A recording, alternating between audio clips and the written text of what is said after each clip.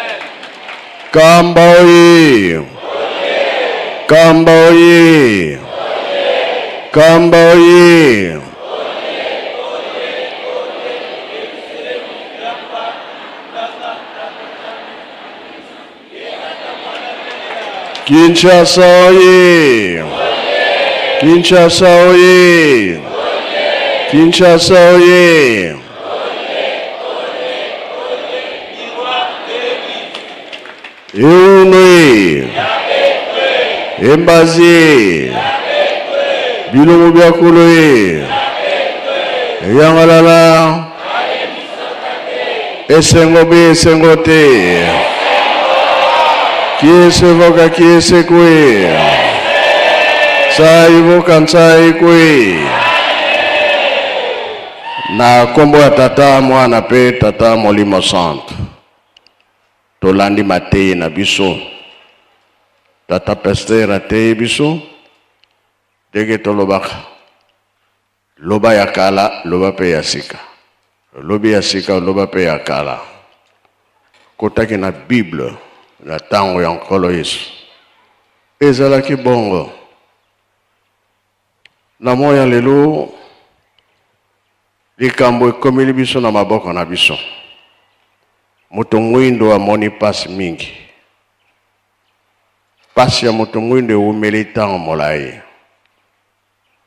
Elelo oyo Nzambe afongoleli biso, tososola, toyeba mpo ete mpasi oyo ewumeli na biso esila. esika tobungelaka toyebi yango esika totikaki nzela ya malamu toyebi yango mpo batata na biso papa kisolokele papa dia lungana papa dia ngenda kuntima balakisi biso nzela ya solo tomoni Mokonzi atelemi ah, alobi mabele oyo eza ya biso moko tomoni babeti mbunda 2011 tozalaki na bango le 3 octobre na mbanzangungu balobi tokobeta so mbunda ya butu te ya moi Boyoki yango mpe boyoki yango te?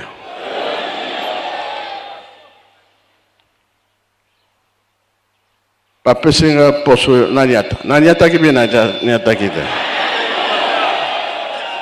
bato babangaki ah. bongo nzambe na biso azali nabanga nini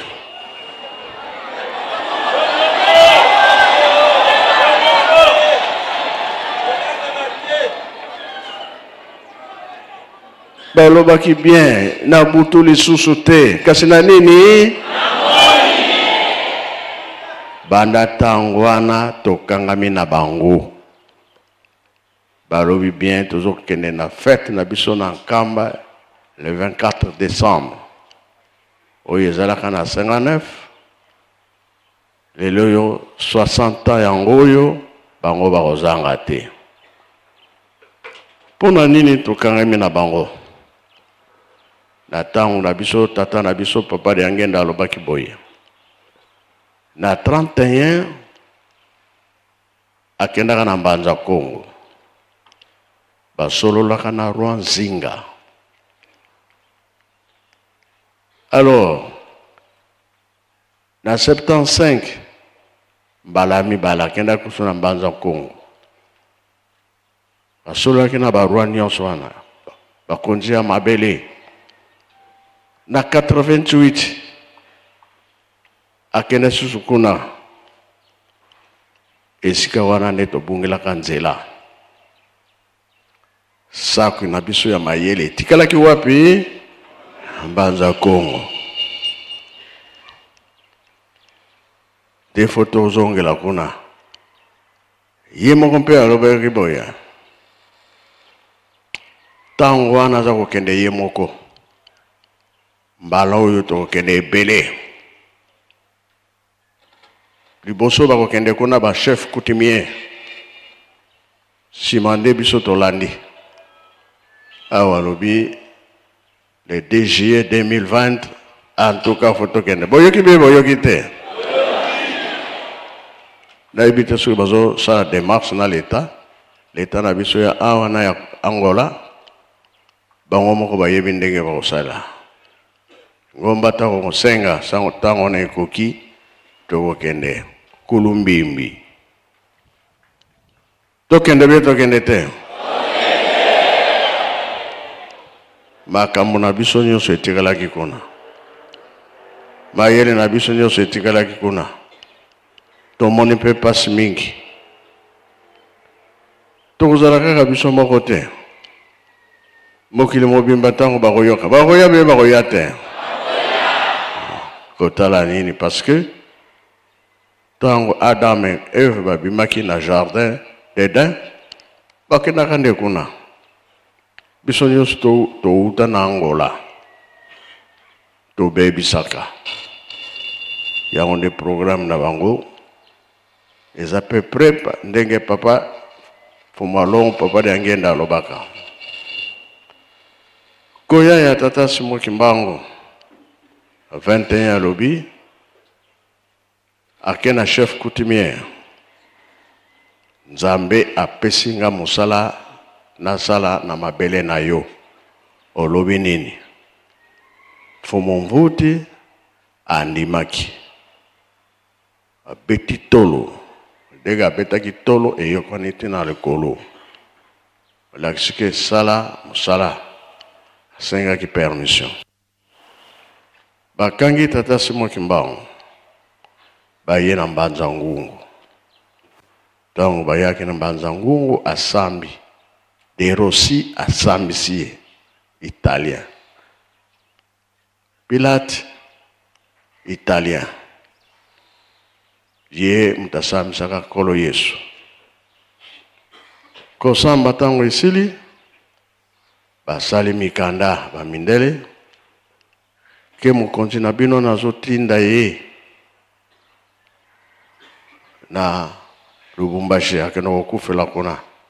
Bino ba chef coutumier ya mbanza yango bo signe lokola batangisaki bango te makambo eza na mikanda bamosusu basiniaki tata wa zekwa nde asiniaki te alobaki avant nasinie natanga botangela ngai oza na kati batangeli ye ye asiniaki te elelo niongo wana tolongolaki yango na 2011 kimbangisme moye botalaka kaka makambo ndenge eza kokendela hmm. bolanda oyo tozwa kolakisa bino po papa azalaki claire kamosusu tozomonela mpasi faute ya bakoko na biso Mais Nzambe atindi bango tozali récupérer. Soki lelo tozo tonga musée bokoko na biso. Makambo nyonso ekozala kuna na kati. Soki lobi soki sima lobi nalobaki likambo moko. Tobebisi mingi na ntango wana oyo. Tobebi biso na ntango ya babele ya kala, Nimerode. Bango nyonso bazalaki bato mwindo. Lokola tobebisaka makambo ekima, sikoyo fo tozongela makambo na biso ndenge Nzambe asalela biso, azongisa biso na esika na biso ya liboso. Bongo bie bongo te, tozoswana, tozokobunda ndenge tolandi lokuta eleki mingi. lokuta lokuta wana eutaki epai ya nioka ndenge kaka bateyeli biso biso tolati yango nde yango wana tozosala tu makambo mabe esila boyokani ekɔta surtout rdc rdc Elembo oyo ezali awa ezo komona na mikili mosusu na mosika. Ndenge tolobaka na 1910 etoile ebimaki Eutaki na Europe eye kotelema na RDC, yango nde ememaka bokonzi. Elelo oyo tozwi bokonzi na nkombo ya motu te ya Nzambe, me tozokoka kobatela likambo wana te. Mabe elekeli biso mingi, koswana biso kaka, kobunda biso kaka. Makambo nyonso ozosalela lelo eza malamu te, kasi Nzambe abosanaka bana na ye. Toza kolongola moko moko moko ti tokokoma esika wana. Eske osambela mabondeli eza mabe? Ezalaka malamu a? Ah. Yango wana tosengaka mabondeli eleka mingi, bonzoto ezala te. me molimo ezala ata biso mpo ete makambo ya be nyonso ekende mosika nzambe soki amatisi yo sepela komimatisa te kasi nzambe nde moto amatisaka kokita mpe nzambe moto akitisaka Tolanda ndenge programme ya Nzambe ndenge ezalaka. Mapamboli nde toza koluka tozwa yango. Susi na biso mize esila. Ekosila be ekosila te. Sima ezali bi ezali te. Mabende mazali bi mazali te. Batolo ezali bi ezali te. Fête ya le 24 décembre ndenge mokonzi alobi bango nyonso baza ebele baza kokita basengi biso mpe moto nyonso akita topesa na jete kimbe eza fete ya lingomba toyokani ye eh? oyo azwi moye akoki koya na ye mpo mokolo wana Ezalaka mpasi me Nzambe akanisi biso ekomi na biso esengo yango wana nzembo nayokaki na badirigant bozonga lisusu nayokaki yango bien bien te nazalaki na kati na ndako bosala noki makambo eza ebele tokosala Nzembo ba dirigeant toyembaki yango na Nkamba, ngai nalobi boyemba nzembo oyo nyonso mpo na kobengana mipepe ya mabe. Nzambe alingi susu bato ya mabe te. Nzambe alingi tosalela ye na solo. Lobiko ekozala na kati na biso. Mwana Kongo oyeba yango te, okoyeba bapaya bakuta epai na epai. lelo babeti mbunda wana bauti mosika kota ya likolo mpo balandi likambo ya tata simo kimbangu ale pesa nzembo jete e dirigeant tolanda nzembo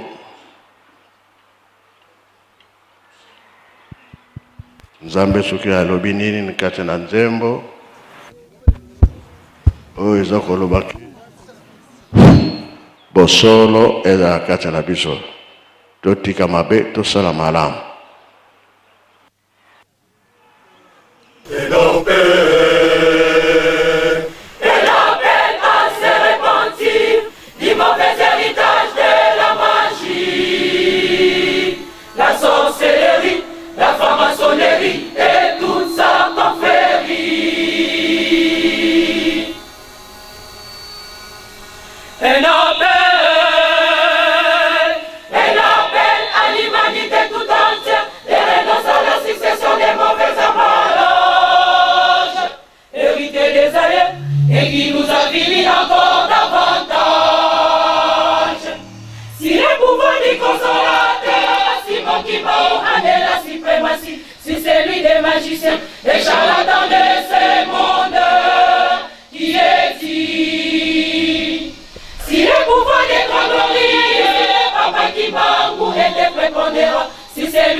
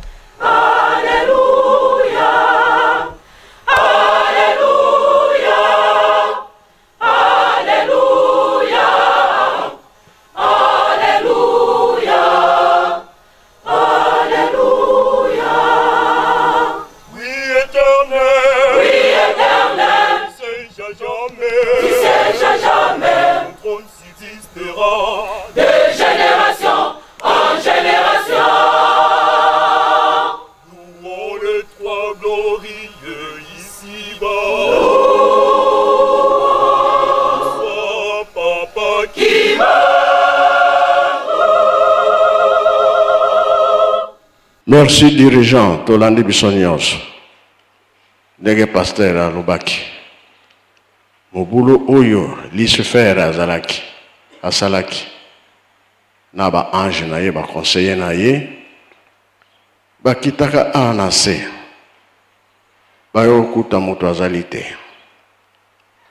babebisi mabele babebisi bazamba bisobe nyonso babebisi yango na mai na se ya mai na se ya mabanga akangakanga bato okomona moto azalaki ne bien ntango mosusu malili malili malili si batie na mai Fièvre esilaka te, moto ntango nyonso na nzoto. Place baitya ye eza ya mabe.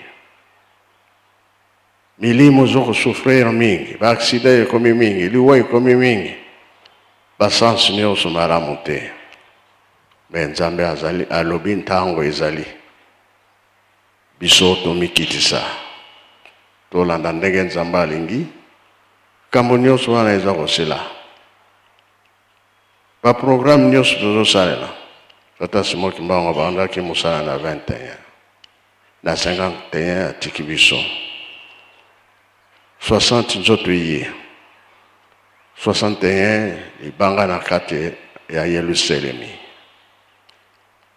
76 tata mfumalongo atie libanga lisusu ya ndako ya nzambe 81 tofongoli ndako alobi makambo ebandi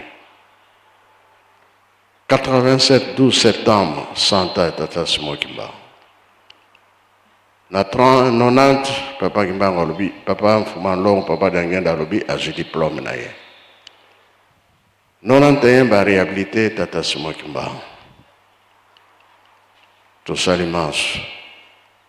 92 batiki biso. Fuma Mbanza continue. 2001 atiki biso. 2011 oyo ekangamaka na mbanza ngungu efungami na mbanza ngungu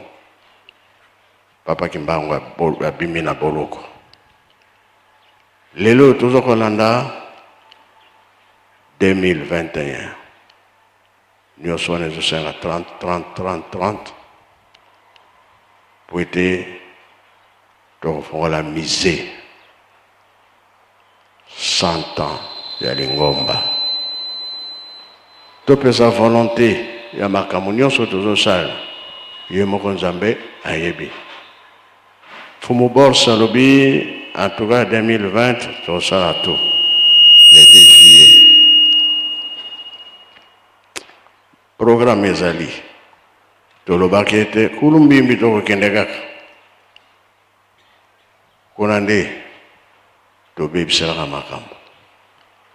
Nzambe azongisa biso na nzela. Oyo nyonso tozosalela ya mabe totika ndenge nzembo alobi mpo toumela libela na mokili oyo Nzambe apesi biso. Tosombaki te, ye moko Nzambe alobi yo mutu nde mokonzi ya biloko nyonso ngai nasali kuna na se. Mais tozokoka kogere yango te. mpo na nini satan azalaka na biso ntango nyonso lelo bateyi biso kitoko tobosana mateyi wana te ndenge nkolo yesu pardon azalaki na ba simon pierre mosala oyo bango basala